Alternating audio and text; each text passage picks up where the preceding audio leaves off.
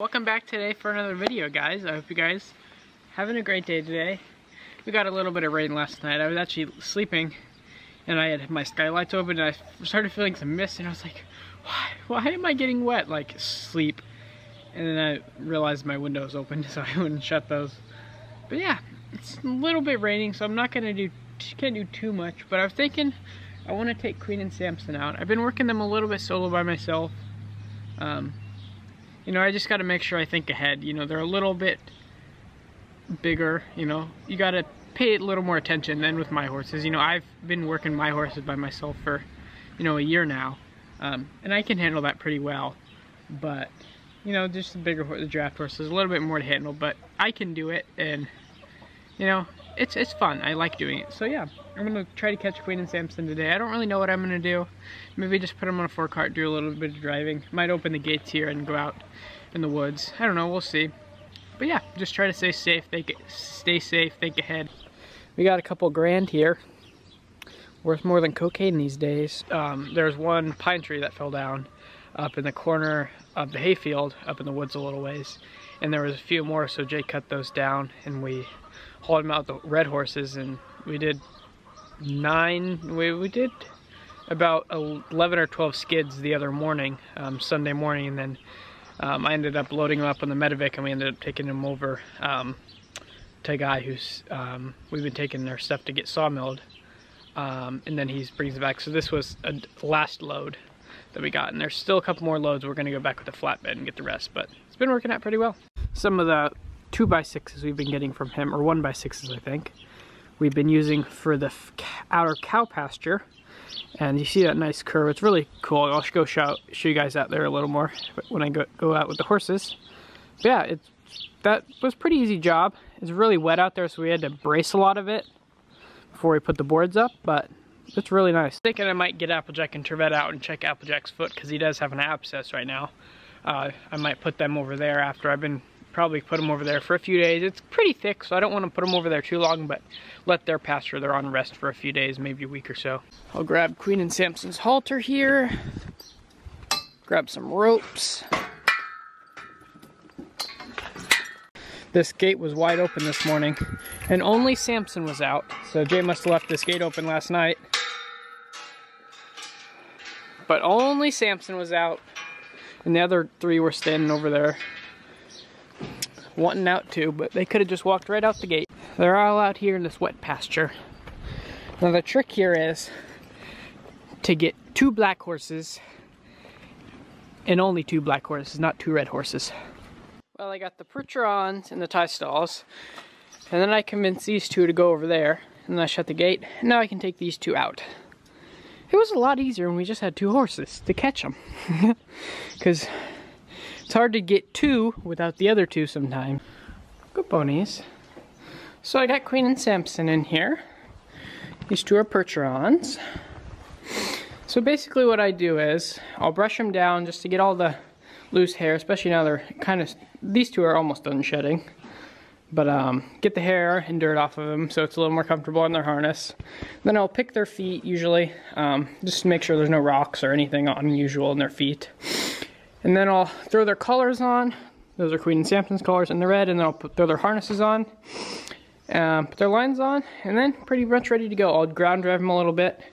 And then I'll put them on whatever I want to do. So, yeah. Let's get to it. Mr. Sampson. Yeah, you got out this morning, didn't you? You were the only one who saw the wide open gate, buddy. Let's get to it, Queenie.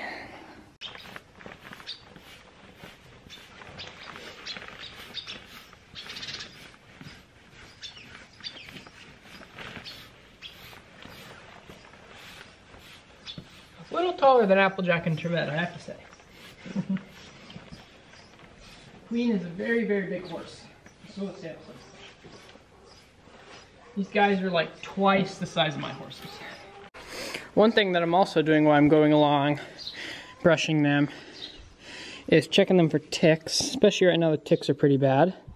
Especially like up here in the back pocket, right in here, back in here up front right here and under their face right here is where the ticks like to hide.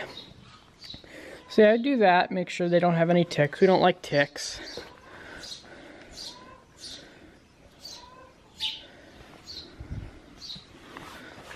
Found a few, but not as many as I did the last time I had these guys out. So this right here is my hoof knife, the hoof knife. We use this. Some people use just hoof picks, which are just like little plastic picks, basically. Um, I like these because they have the cutting blade, and you can really, if you need to dig out abscesses or anything, they're really good for that. So we'll just pick Sampson's foot up here, dig out, make sure there's no rocks. These guys are a little long right now. They definitely do need a trim. I think the farrier's scheduled to come in a week or so, so. Do queenies. I do front to back. I go all across the front and all across the back so I can compare them. Come on, queen. Yeah, there's a stone redding queens right there. That's why we check them. Kind of sucks right now because their feet are all muddy. Got their collars on. Sampson's taking a nap. Harnesses, and bam, they're all harnessed up. I don't know if I showed you guys, we got these guys some new bridles a few weeks ago when we sold the last wagon. Uh, we stopped at the harness store. And yeah, got these guys some new shiny bridles, matching. They're pretty nice. I'm just gonna sneak out here real quick. Make sure I can get the forecart. I'm probably just gonna bring the forecart and put it by the rail. I could just put them on over there and make them stand, but I don't really have anybody to head them. And I can, I have done it and I can do it without anybody heading them. And they're pretty good about it, but it's just easier to bring it over there, take five seconds to do it, and then have not have the possibility of them running away or something and making a mess. Trucks are running on the road, so I'm probably just gonna head out in the woods. Um, we have it set up so we can do a loop around the pond without opening any gates or stopping, so that's sort of, it's a little muddy, I have to just be careful they don't slip too much, but they should be good. I'm not gonna go out too long, just a little bit. Just wanna give them a little exercise. Probably just gonna switch to the GoPro just cause it's a little easier.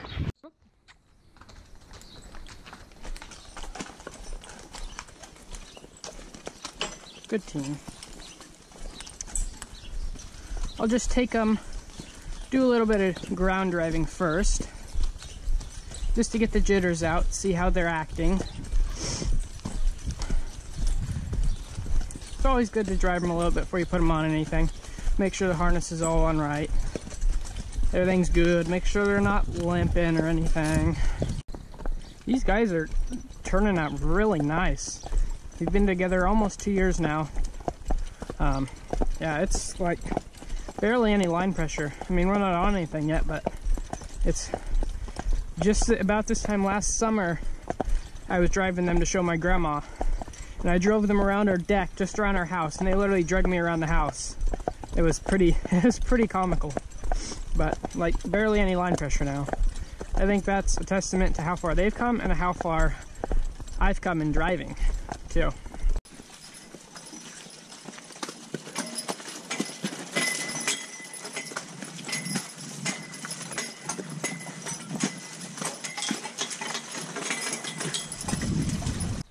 Got our little pond right here that Jay dug.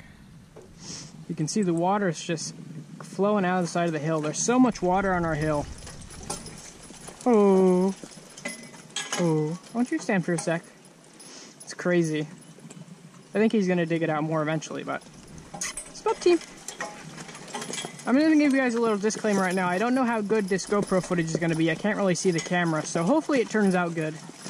I've already filmed, talked for like a minute or two, and realized my camera wasn't on, so not the greatest, but it's a little easier, especially with these two, not to have to film on my camera, so yeah.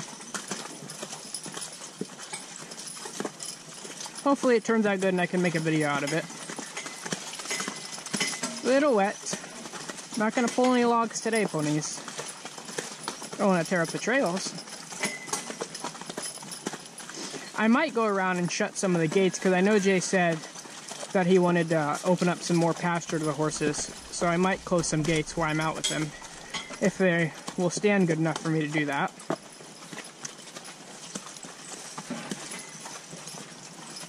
They're doing pretty good so far though.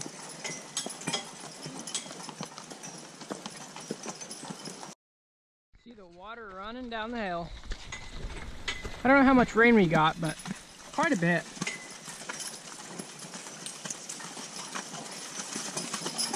I think this is, we've got, this may be the second rain we've got this week, I think.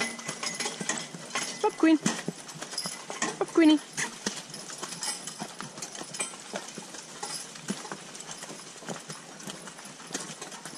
Oh, there's a puddle up here. They might try to jump it.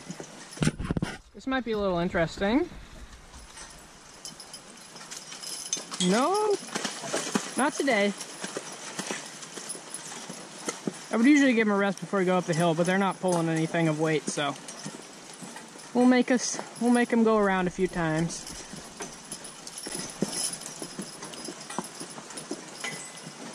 Oh. I don't know if you can hear it. Me and Jay pulled this log up here a few weeks ago with these guys. And we were came up with the tractor and we wanted to go from that tree to that tree just because there's a steep steep drop right here and we don't want anybody to go off of it, but we pushed the log off too far.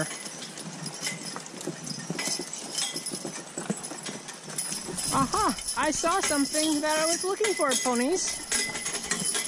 We're gonna come back up again. I saw a chain that we lost a few weeks ago. About to cross the pond here. Let's not go swimming, ponies. I'm guilty of that with a backhoe. Not the funnest day. It's a three culvert day.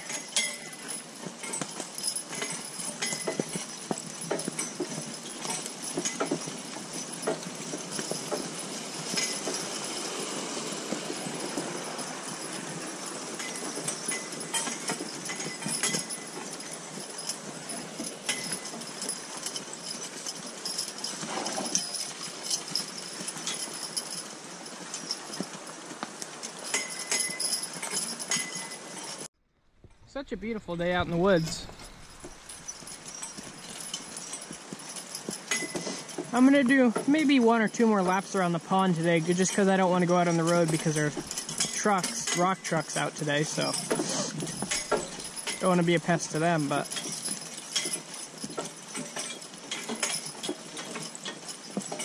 this is all good. I like driving in the woods a lot more than I do on the road. Especially on these days when you can just see the buds coming out.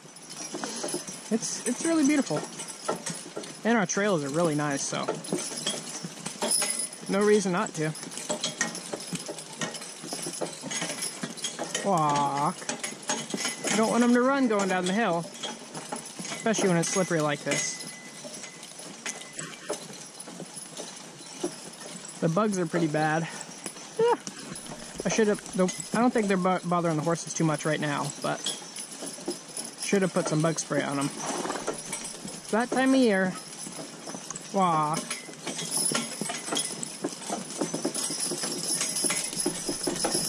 Walk, Sampson. Walk. I don't know if you guys can see this white line up here. We ended up separating this field right here so we can keep the gates open and still go around the pond without having to open any gates Worked out pretty good, I don't know. Walk, walk, walk. It's gonna be muddy right here. Walk, queen. Walk. Walk. Just walk. Oh, two more steps up. Up. Oh. Oh. I'm gonna grab this chain that I left up here.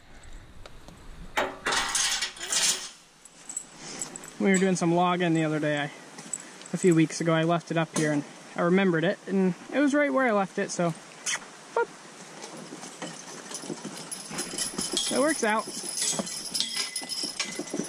That chain would have been handy when we were pulling out the, all those pines the other day to take to the get sawmilled, but whatever. It is what it is. This is really nice. I can just sit back, give them just the slightest bit of rein and they go right where I want. They would not have done this. They weren't as nice, you know, six months ago. They've really come a long way. It's, it's really nice to drive. It's kind of funny, I think, especially since we got these red horses. Like, these guys have really improved a lot, I think. I, I don't know if that's just I've been driving them more, um, so I, you know, get the feeling a little more for them. But I don't know. I really, I really like this team, and they got a lot of power. I mean, when you put a manure spreader, a big log behind them, they're gonna pull. Um, you know, and they're not. They're they have a lot of power. A lot of power. Jay's pretty sure these two were started as pulling horses.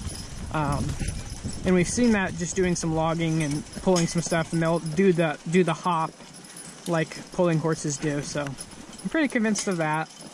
Um, but you know you really don't want to train that out of them as long as like how they've come along now just being able to drive them like this and not have to have them pull your arm sockets out. Going up to the pond one more time. I'll do three laps today and then I'll take them home. Maybe do a little cool down down the road and then put them back. They've done a good job. I just wanted to give them a little exercise, that's all. Mr. Old Guy. Getting back just in time. It's just starting to rain a little harder, so. Back these guys in the right into the barn. If I mess up, I can edit it out, but I'm gonna try to back them up into the first bay in one shot. Let's see if I can do it. Bring them past. Huh? Huh? Hot team. Oh. Oh. Back. Back. Back. Back. Back. G. G back, back, G, back, back, back, ho, good team, ho, good. Back in just in time before it started pouring. Oh, it's not pouring yet, but it might. Can you guys step over? There you go. Trons and Bertrons. Thanks so much for watching the video. I really appreciate it. Um, if you guys have any questions or comments or anything, don't be afraid to leave them down in the comments section down below. Maybe leave a like, I don't know. Thanks for watching. Um, I don't know how good the GoPro footage is going to turn out, but we'll see.